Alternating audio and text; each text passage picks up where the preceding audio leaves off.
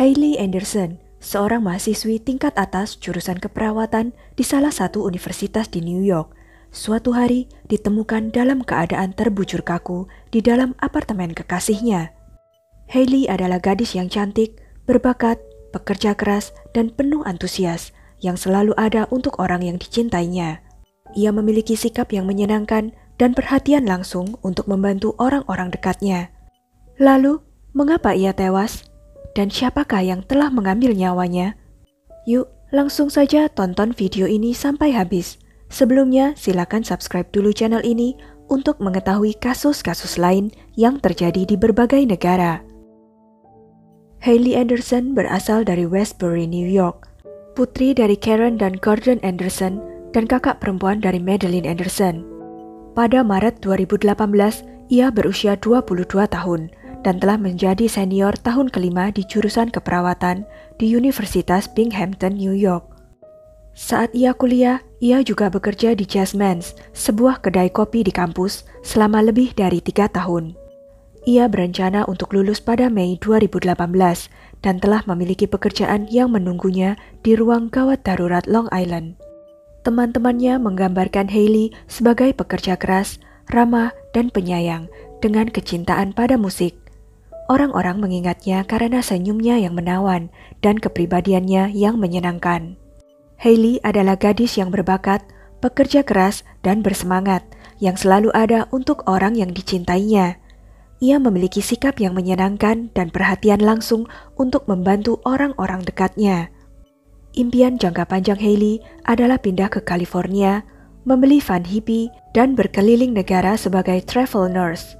Ia memiliki jiwa yang sangat bebas, tapi ia tidak pernah mencapai mimpinya karena ia dihabisi secara brutal. Sewaktu di universitas, Hailey bertemu sesama mahasiswa keperawatan, Kevin Ocampo. Keduanya memiliki ketertarikan instan dan mulai berkencan. Pada tahun 2016, Kevin mengadakan pesta di tempatnya dan Hailey menghadirinya.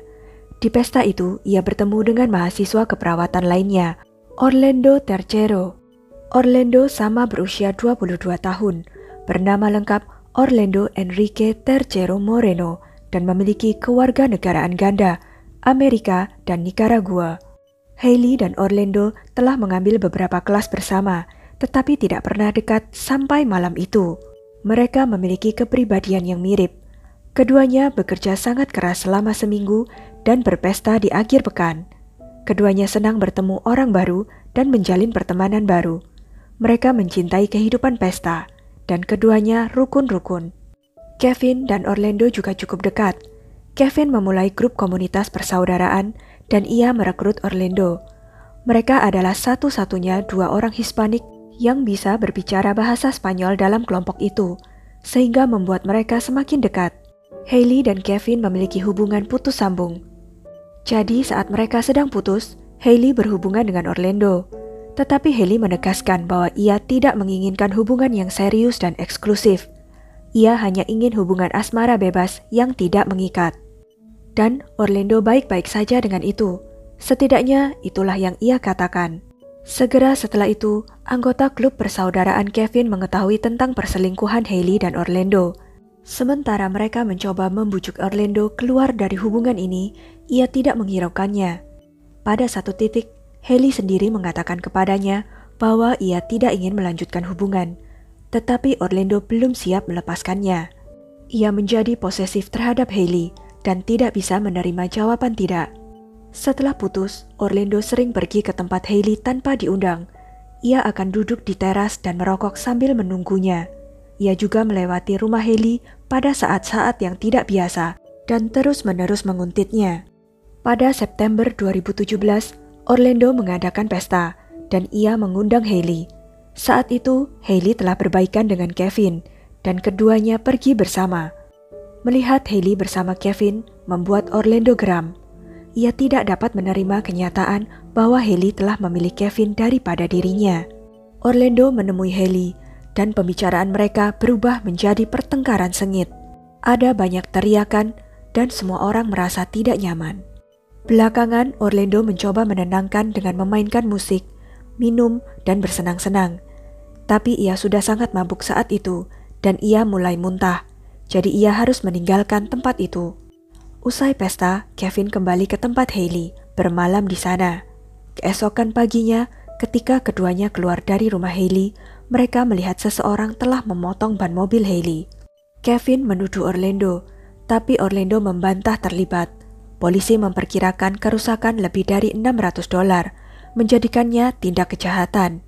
Namun, Hailey menyadari bahwa jika polisi menangkap Orlando, ia akan dikeluarkan dari universitas dan bahkan dideportasi ke Nicaragua. Menjadi orang yang berempati dan baik hati, Hailey tidak ingin menghancurkan kehidupan Orlando. Jadi, ia memutuskan untuk tidak mengajukan tuntutan. Hailey memandang Orlando sebagai teman baik, dan ia ingin menghargai persahabatan yang mereka miliki. Sayangnya, sedikit yang ia tahu bahwa itu akan menjadi kesalahan terbesar yang pernah ia buat. Pada malam hari tanggal 7 Maret 2018, Hailey dan teman-teman sekamarnya menghabiskan malam dengan bermain game, minum anggur, dan bersenang-senang. Ada banyak tawa, tarian, dan kebahagiaan di antara mereka. Sekitar pukul satu pagi, gadis-gadis itu mengakhiri malam dan pergi tidur. Josie dan Michaela, teman seflat Hailey, bangun keesokan paginya dan melihat pintu kamar Haley tertutup. Mereka mengira ia sedang tidur atau pergi keluar dengan beberapa teman lain. Mereka tidak terlalu memikirkannya. Namun, mereka menjadi khawatir ketika tidak mendengar apa pun dari Haley sepanjang hari. Biasanya Haley akan selalu membalas atau memberi kabar kepada mereka. Jadi, mereka mencoba melacak smartphone Haley dan mengetahui bahwa ia ada di tempat Orlando. Teman-teman Haley merasa lega. Mereka percaya ia mungkin tidak membalas pesan mereka karena ia malu karena berhubungan lagi dengan Orlando. Hailey mungkin merasa bahwa mereka akan menghakiminya atas tindakannya, tapi tentu saja bukan itu ceritanya, dan ini akan memakan waktu mereka beberapa saat untuk menyadarinya. Beberapa hari kemudian, saudara perempuan Orlando merasa khawatir karena ia tidak mendengar kabar dari saudara laki-lakinya itu. Orlando biasanya berbicara dengannya hampir tiap hari, atau setidaknya ia akan mengirim pesan kepadanya jika ia tidak bisa berbicara. Jadi ia meminta polisi untuk melakukan pemeriksaan di tempat Orlando. Tetapi polisi melihat mobilnya tidak ada di sana. Mereka juga mengetuk pintu dan tidak ada yang menjawab. Jadi mereka berasumsi bahwa Orlando mungkin telah keluar kota untuk sementara waktu. Saat itu teman-teman Hailey tidak mengetahui tentang hilangnya Orlando mereka masih percaya Hailey bersama Orlando di tempatnya. Akhirnya, setelah sama sekali tidak mendengar kabar dari Hailey, teman seflatnya pergi ke tempat Orlando. Mereka ingin memeriksa teman mereka dan membawanya pulang. Saat itulah mereka melihat mobil Orlando tidak ada di sana. Gadis-gadis itu mengetuk pintu dan jendela untuk melihat apakah ada orang di rumah. Lagi pula, ponsel Hailey masih ada di sana. Namun karena tidak mendapat tanggapan, mereka masuk ke dalam rumah melalui jendela. Di dalam rumah, pemandangan mengerikan membuat mereka berhenti. Kedua gadis itu melihat Hailey terbaring di tempat tidur Orlando tanpa mengenakan pakaian dan pucat. Rumah itu sangat tenang, tidak ada darah, pergumulan, benda pecah, dan lain-lain. Teman-teman Hailey menelpon 911 dan polisi segera tiba. Ternyata Hailey mengalami memar di sekucur tubuhnya. Otopsinya menegaskan bahwa ia dicekik sampai mati ketika ia sedang tidur. Hailey bahkan tidak melakukan perlawanan. Kamera CCTV gedung membantu polisi menyusun beberapa potongan teka-teki. Berdasarkan penyelidikan dan hasil autopsi, disimpulkan bahwa pukul 3 lewat 14, Hailey dan Orlando memasuki gedung. Hailey tampak bahagia dan bersedia bermalam bersamanya. Orlando membunuh Hailey dengan pencekikan menggunakan tangan pada dini hari 8 Maret 2018 di apartemennya di Oak Street di West Side of Binghamton, sebuah kota di Broome County, New York. Sekitar tujuh jam kemudian, Orlando meninggalkan gedung. Ia membuang sampah dan pergi dengan tergesa-gesa. Kemudian ia kembali dan menghabiskan beberapa waktu di dalam rumah. Ia juga berada di ruang bawah tanah membuat beberapa pengaturan. Beberapa jam kemudian, ia pergi dengan barang bawaannya. Polisi kemudian melanjutkan penyelidikan mereka dan menemukan kwitansi obat tidur dari toko obat setempat. Polisi menganggap pil ini digunakan untuk Heli. Polisi juga menemukan surat bunuh diri dari Orlando yang ditulis dalam bahasa Spanyol. Dalam surat itu, ia meminta maaf karena melakukan sesuatu yang bodoh. Ia pun mengaku akan segera bertemu ayahnya yang telah meninggal dunia beberapa tahun lalu. Di ruang bawah tanah, ada dasi yang digunakan sebagai jerat. Ada juga beberapa tetes darah di lantai. Polisi menduga bahwa Orlando telah mencoba mengambil nyawanya, tetapi ia jatuh dan melukai kepalanya sendiri. Orlando telah menelepon saudara perempuannya dan memberitahunya bahwa ia memalukan keluarga dan bahwa ia akan pindah kembali ke Nicaragua. Rekaman pengawasan dari Bandara Internasional JFK, Orlando menaiki penerbangan ke Nicaragua dengan perban di kepalanya. Segera, kasus pembunuhan Haley menjadi berita nasional, dan semua orang marah karena pembunuhnya telah melarikan diri dari negara itu.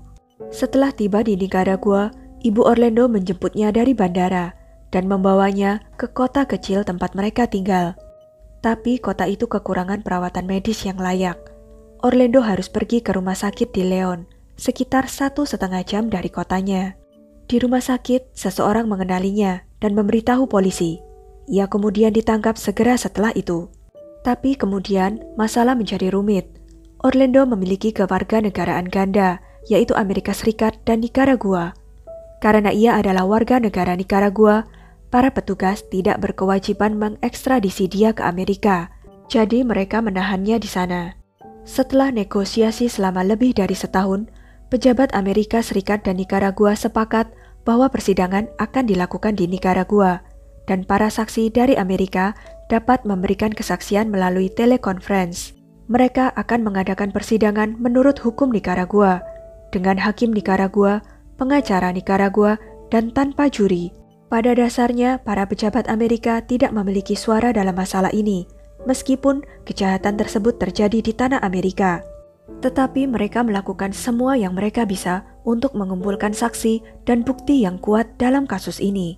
Persidangan Orlando dimulai pada 1 Oktober 2019. Ibu Haley, Karen Anderson, bersaksi melawan Orlando. Ia menjelaskan betapa empati dan baiknya Haley dan bagaimana Orlando telah mengambil segalanya dari keluarganya. Tetapi bagian yang menyedihkan adalah setiap kali Ibu Haley melihat Orlando, ia akan menyeringai seolah ia tidak peduli sama sekali. Wanita itu hancur melihat pria yang bertanggung jawab atas kematian putrinya tersenyum dan bersenang-senang. Setelah itu, teman Haley, Kevin, dan ahli patologi yang melakukan otopsi semuanya maju dan bersaksi melawan Orlando. Polisi juga menunjukkan catatan bunuh diri jerat, dan bukti lain yang mereka kumpulkan dari rumahnya. Pembela mengklaim bahwa Orlando terlalu banyak minum malam itu dan secara mental tidak stabil. Mereka berpendapat bahwa ia tidak boleh dihukum atas tindakannya dalam keadaan seperti itu. Pembela juga menghadirkan seorang psikolog klinis yang mendukung klaim mereka.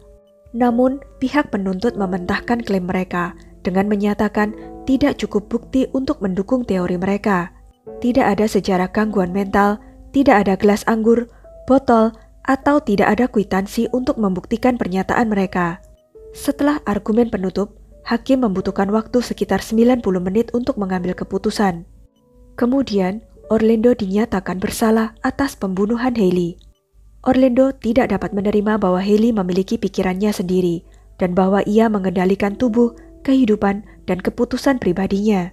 Hakim mengklaim ia tidak akan mentolerir pria yang mencoba memaksakan diri ke dalam kehidupan wanita tanpa persetujuan mereka. Orlando dijatuhi hukuman maksimum atas kejahatannya, 30 tahun penjara. Ia mencoba mengajukan banding atas putusan tersebut, tetapi ditolak, dan saat ini menjalani hukumannya di Nicaragua. Menurut sebuah laporan PBB, seorang wanita dibunuh oleh keluarganya setiap 11 menit, dan wanita yang mengatakan tidak sering menghadapi konsekuensi yang mengerikan, dengan kematian sebagai salah satu akibat utamanya. Tapi bagian terburuknya, mereka kebanyakan dilupakan dan cerita mereka terabaikan. Sekian kisah dari Hailey Anderson. Jangan lupa untuk klik like, share, subscribe, dan komen ya. Sampai jumpa lagi di video-video selanjutnya.